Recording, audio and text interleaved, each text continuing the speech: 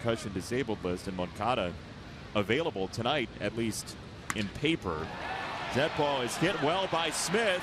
Deep center field. Kevan Smith pinch hitting. Says see you later. Seven to four.